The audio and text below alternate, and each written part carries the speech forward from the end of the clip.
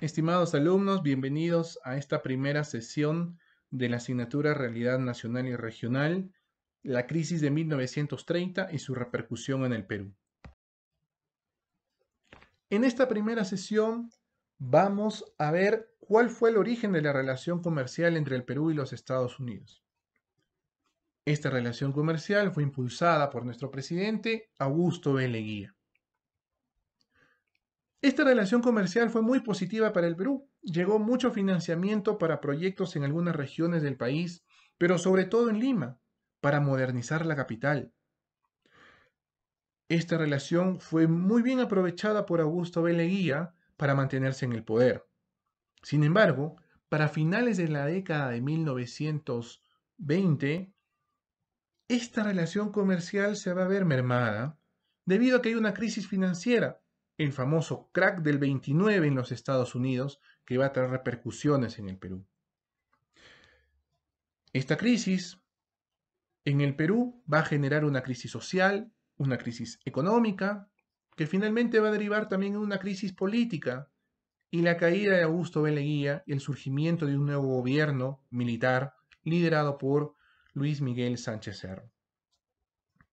Pero para poder comprender mejor el contexto entender a los actores de la época, Leguía, Aya de la Torre, Luis Miguel Sánchez Cerro, y comprender las acciones también de la población de la época, necesitamos remontarnos un poco más atrás y hablar sobre una época anterior llamada la República Aristocrática. Si entendemos la República Aristocrática y hacemos una revisión del oncenio de Leguía, vamos a tener las herramientas suficientes para comprender bien cómo se generó la crisis de 1930. Empecemos entonces con el desarrollo de los temas. Después de la inestabilidad política que sufrió el Perú al término de la Guerra del Pacífico, entre 1899 y 1919, se dio una cierta estabilidad política y una recuperación económica. Esta la llevó a cabo el Partido Civil, que ganó las elecciones de manera reiterada y ocupó el gobierno por dos décadas con muy pocas interrupciones. Estos gobiernos eran elegidos solamente por las clases altas, las clases que tenían educación, los alfabetos y solo varones. Era una democracia distinta. Por eso Jorge Basadre la llama la República Aristocrática, porque estos gobiernos no tuvieron una preocupación real por gobernar todo el territorio nacional. Su preocupación principal era gobernar las regiones donde ellos tenían negocios, que es la costa, Lima, pero hicieron muy poco por la sierra y menos por la selva del país. Además de no tomar en cuenta tampoco el problema del campesino o al indígena. Por ello, la etiqueta de república aristocrática. Sin embargo, en los últimos años, con mayor investigación en la historia y en la historia económica, se ha encontrado que sí hubo una preocupación de estos gobiernos por, fortalecer las instituciones, por ejemplo, o estar preocupados por la profesionalización de las clases obreras, eh, de la clase social distinta, la joven, la que empezaba a emerger. Por lo tanto, la etiqueta de república aristocrática no hace mérito del todo a lo que ellos trataron de implementar. Por eso que esta etiqueta actualmente está en revisión porque no toma en cuenta las preocupaciones que estos señores tuvieron por generar institucionalidad, promover la igualdad y sobre todo estar muy preocupados porque el Perú tenga una mejor educación.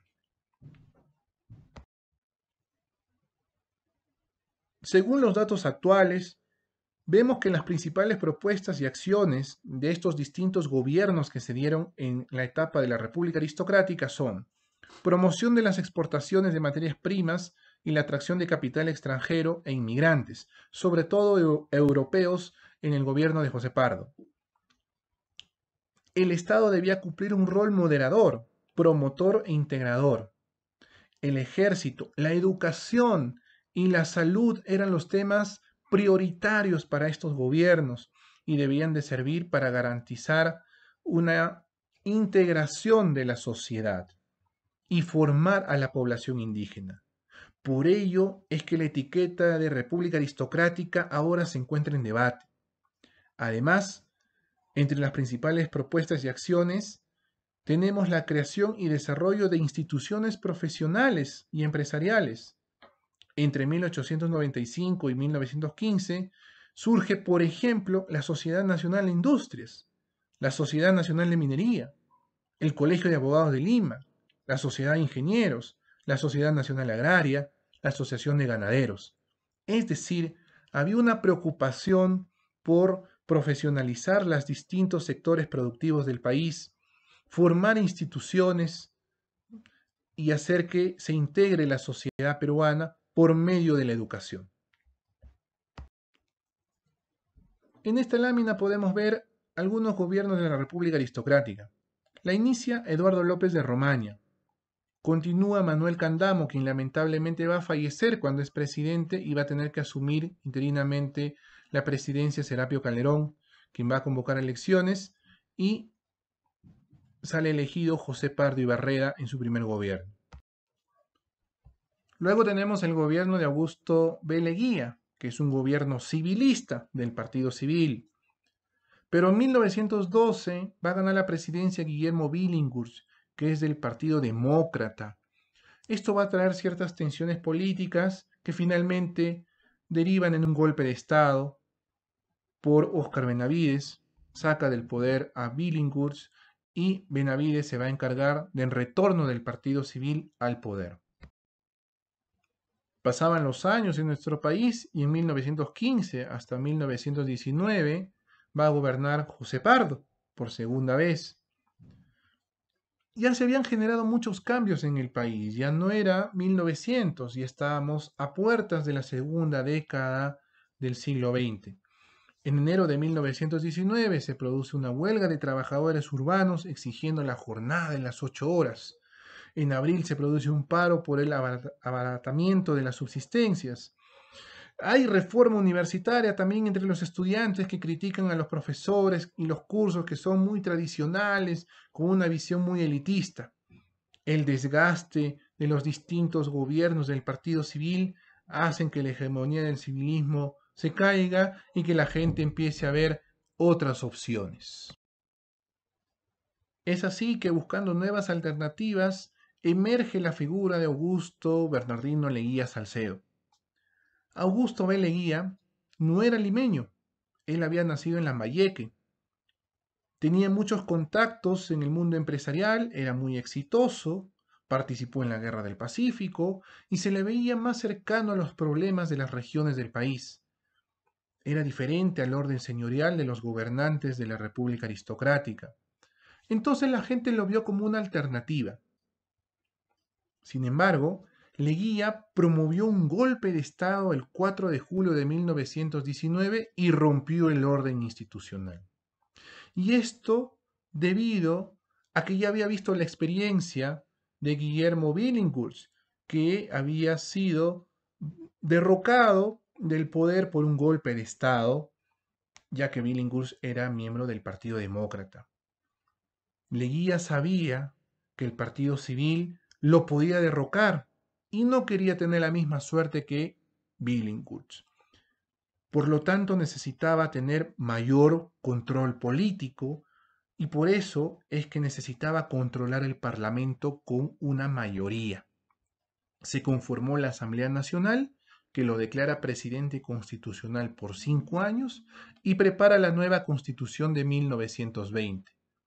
Esta constitución permite la ampliación del periodo presidencial de cuatro a cinco años y también permitió la reelección presidencial de Leguía en 1924 y en 1929.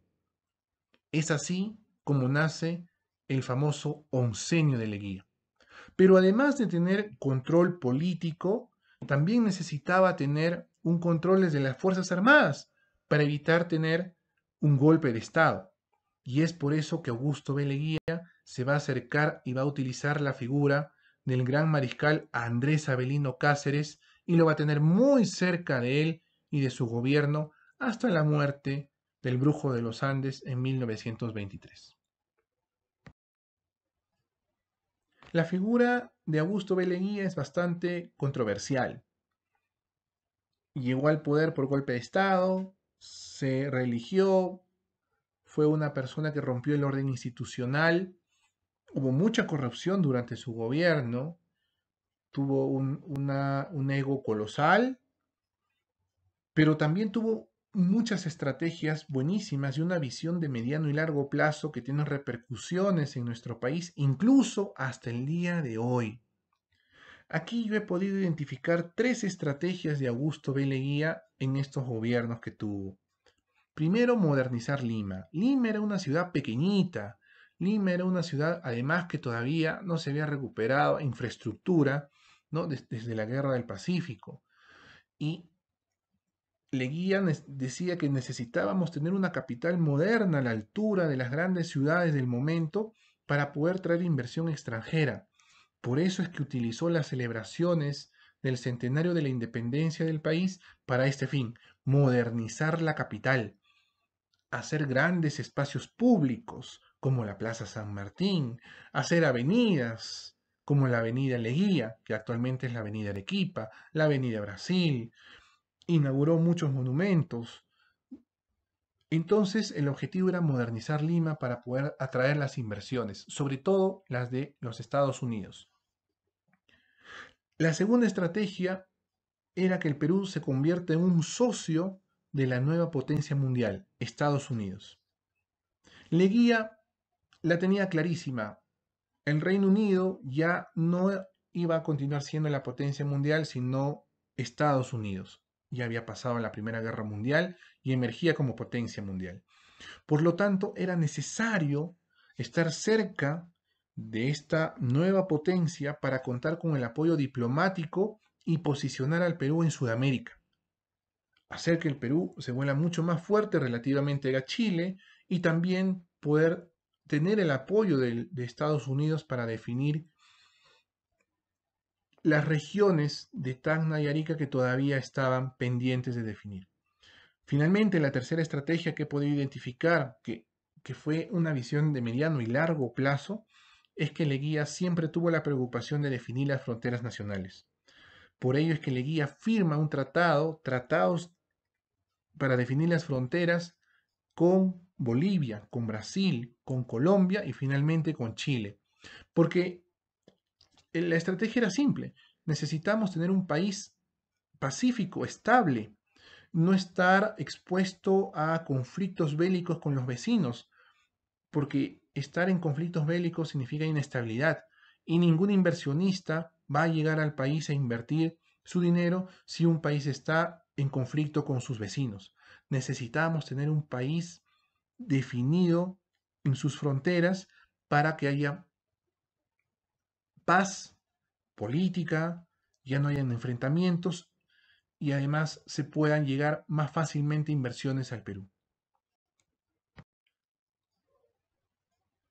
Modernizar Lima fue una de las prioridades, les decía, de Augusto Beleguía y una de ellas fue crear grandes espacios públicos.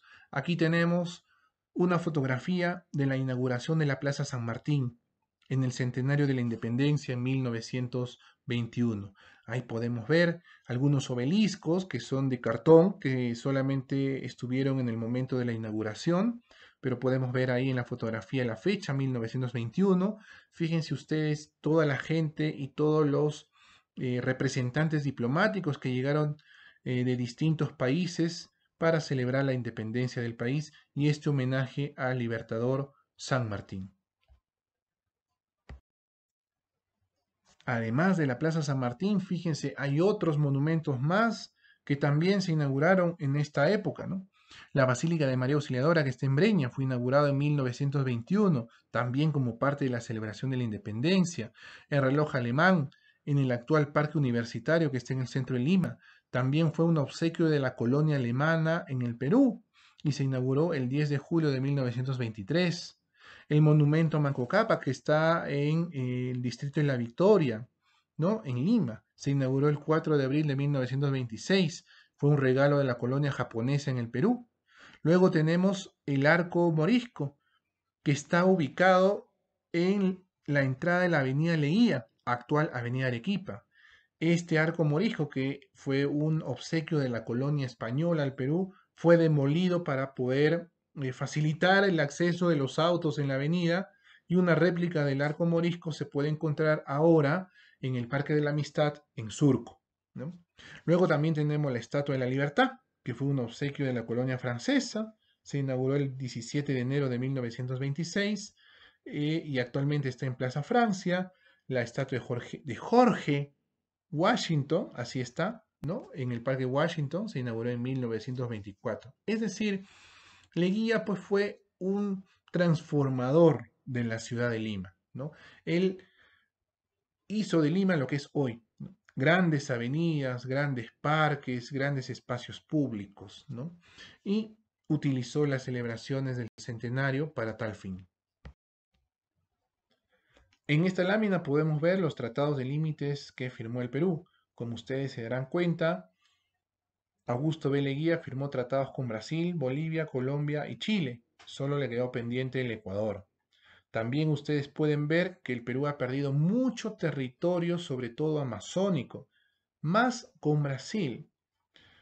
Pero les comento que fue importante que Augusto B. Leguía firme un tratado de límites con Brasil, debido a que los brasileros iban entrando cada vez más y cada vez más hacia lo que en teoría y en los mapas decía que eran territorio peruano.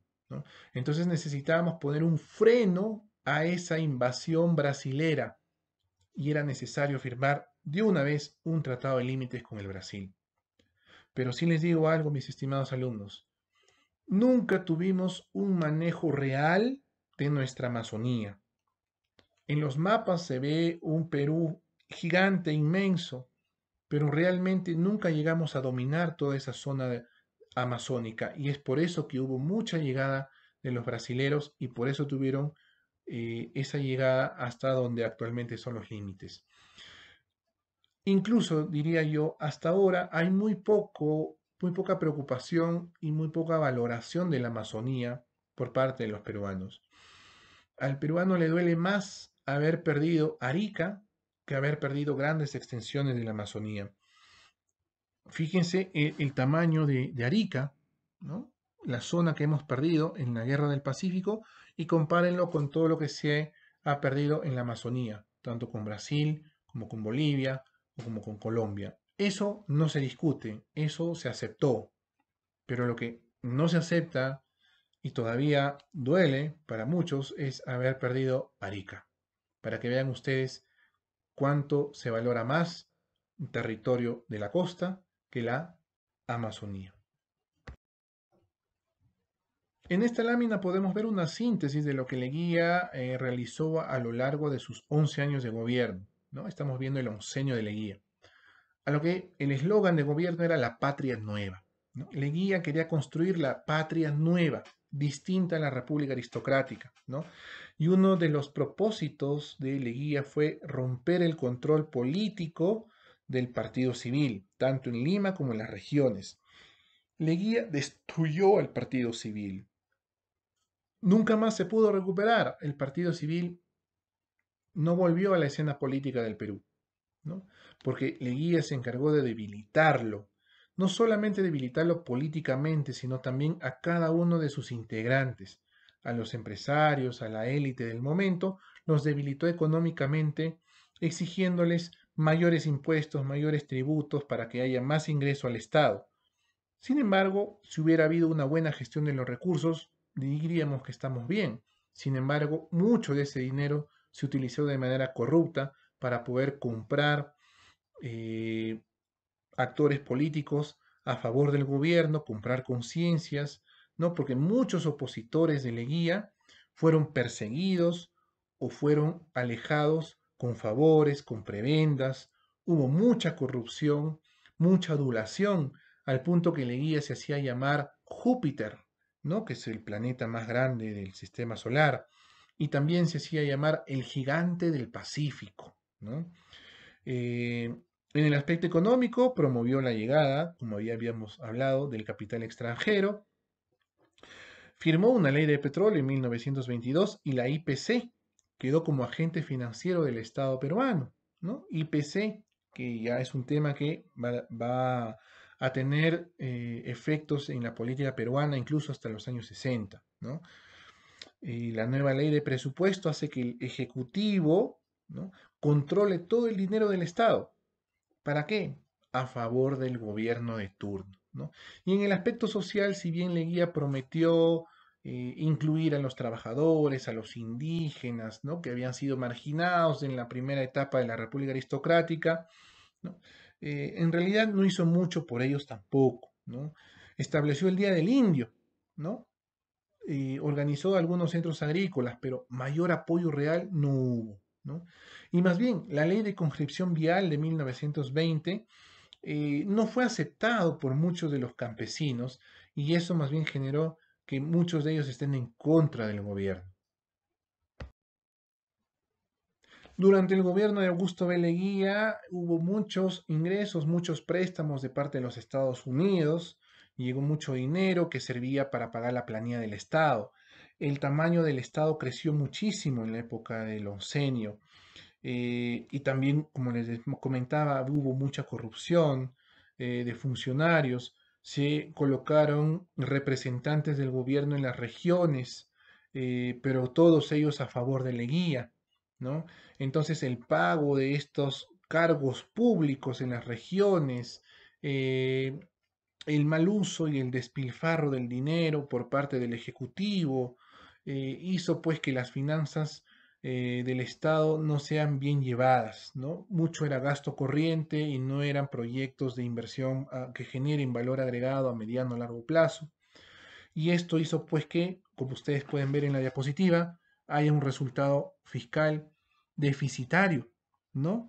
En 1921, en 1922, fíjense ustedes cómo caen los recursos del Estado, ¿no? En 1923 prácticamente están en cero, ¿no? Hay una subida en 1924, pero luego todo está en déficit. Es decir, la gestión de las finanzas públicas no fue lo mejor y una fortaleza del oncenio de Leguía. Entonces, fíjense, en esta diapositiva he hecho una síntesis también de cuál era el contexto interno a finales de los años 20 en el Perú, ¿no? Dictadura, la población reclamaba por sus derechos civiles, sociales, Leguía era un dictador, ya hemos mencionado que perseguía a sus opositores, los campesinos estaban en contra de la ley de la conscripción vial, no habían sido incluidos tampoco durante estos 11 años en las políticas del Estado. La élite nacional, las oligarquías regionales estaban debilitadas, el partido civil prácticamente desaparecido, los partidos políticos estaban débiles, desacreditados, ¿no? los sectores populares empezaban a organizarse en otros partidos nuevos que empezaban a emerger, uno de ellos el APRA, ¿no?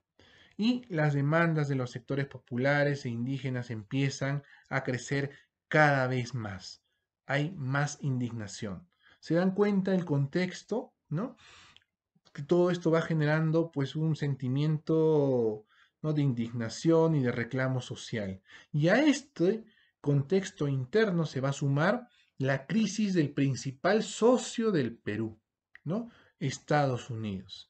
La caída de las materias primas en los mercados internacionales hace que caigan los ingresos para el país, se repliegan las inversiones, ¿no? Por esta crisis financiera que hay en los Estados Unidos, ya no llegan préstamos al Perú, ya no hay dinero de Estados Unidos en el país, ya no hay cómo pagar la planilla del Estado, ya no puede haber el despilfarro económico de la década del 20 y esto es lo que genera la crisis de 1930, ¿no?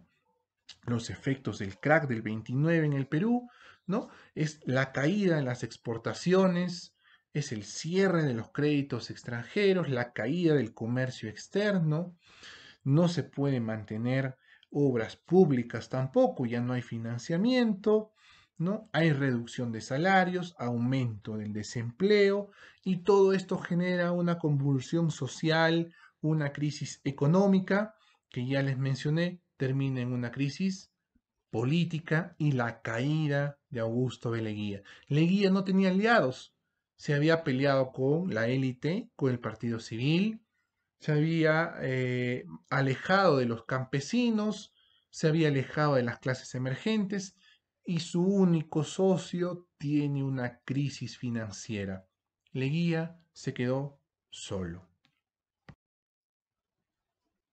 Los ingresos que recibía el Estado crecieron en la década de 1920 debido a un boom exportador, el crecimiento de la economía, la llegada de la inversión eh, extranjera. Sin embargo, el gasto, como les dije, era el gasto corriente, creció mucho más rápido que los ingresos fiscales y eso condujo a una crisis económica a finales de la década del 20. Por lo tanto, Leguía entonces va a tener un trágico final. Va a ser derrocado del poder, va a caer enfermo, va a llegar a ser preso, va a ir al Panóptico de Lima, que era el lugar donde era la, cárcel del, momento, que actualmente eh, están las instalaciones del Hotel Sheraton. Ahí estuvo preso Leguía, fue a la isla San Lorenzo, estuvo enfermo, la gente lo odiaba tanto que puso una bomba debajo de la cama del hospital donde estaba Leguía. Felizmente no, no, no reventó. Pero cuando Leguía finalmente muere, la gente, los limeños, van a ir a su casa y van a saquear su casa, ¿no? Y van a borrar todo lo que tenía su nombre en Lima. Incluso Luis Miguel Sánchez Cerro va a cambiar el nombre de la avenida Leguía, ¿no? A el nombre de Avenida Arequipa, ¿no? La avenida Arequipa tiene ese nombre porque Sánchez Cerro hace su levantamiento en la ciudad de Arequipa. Y por ese motivo es que le pone el nombre a la avenida Arequipa. Entonces Luis Miguel Sánchez Cerro va a llegar al poder, inicialmente va a tener la venia de la sociedad, de los militares, de la élite, ¿no? de los antiguos civilistas, va a tener el apoyo Sánchez Cerro de los antiguos civilistas, sin embargo, Sánchez Cerro va a tener ciertas actitudes déspotas contra los indígenas, los campesinos, no lo van a querer, y va a tener que formarse una junta de gobierno en 1931. El más importante es un viejo civilista, David Samaneso Campo, quien va a crear el Jurado Nacional de Elecciones y van a haber elecciones, ¿no? Y Sánchez Cerro es elegido como presidente constitucional en elecciones, ¿no? Lamentablemente Sánchez Cerro también va a tener un final muy trágico, ¿no? Y va a asumir el poder Óscar Benavides que si recordarán, ya lo hemos mencionado antes, ¿no? Muy cercano también al partido civil. Por lo tanto, ya no será el partido civil el que esté en el gobierno, serán los militares, pero ellos están muy cerca de los militares, digamos en alianza con ellos, hasta 1939. Muy bien, entonces como una reflexión final de todo lo que hemos visto. Eh, Augusto B. Leguía tuvo como una estrategia hacer de Estados Unidos un socio comercial en el Perú, pero generó mucha dependencia. El Perú exportaba materia prima, pero llegaron muchas inversiones norteamericanas al país y eso generó pues un sentimiento nacionalista y por eso podemos entender posturas como la de Víctor Raúl Aya de la Torre o la de eh, José Carlos Mariátegui, que hablaban contra el imperio, ¿no? Y, ser libres del, imperialismo yanqui, ¿no? Esto debido a que Augusto B. Leguía generó cierta dependencia en los Estados Unidos, al punto que cuando Estados Unidos sufre una crisis financiera, tiene una repercusión también en el Perú. Esta dependencia continúa hasta hoy. ¿no? Hay, eh, hay todavía una fuerte generación de ingresos en el país por exportación de materia prima, minerales. Incluso si ustedes pueden ver en esta eh, nota del diario Gestión, reducir dependencia de minerales y diversificar la economía es la tarea pendiente del Perú. Entonces yo les dejo esta pregunta. ¿De qué manera la diversificación económica del país mejoraría nuestra calidad de vida ¿Y cómo podrías aprovechar esta diversificación económica que está pendiente en nuestro país, cómo podría ser aprovechada ¿no? desde la perspectiva profesional, desde tu carrera profesional. Vamos ahí a hacer la reflexión.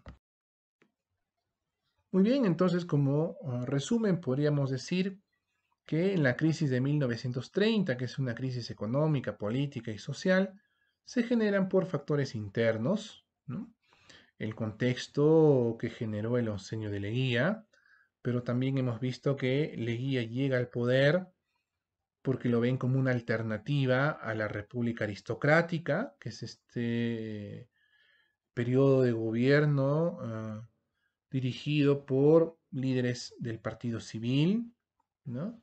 Eh, y por un factores externos, ¿no? como el crack del 29 en Estados Unidos, ¿no? son los que generan la crisis de 1930 en el Perú, Eh, que finalmente va a terminar con lo que llamamos el tercer militarismo, ¿no? que va de 1930 a 1939. Muchas gracias por su atención, estimados alumnos. Nos vemos en la próxima sesión con el tema Formación del Mercado Interno Regional, Desarrollo de Medios de Transporte y Comunicación. Gracias.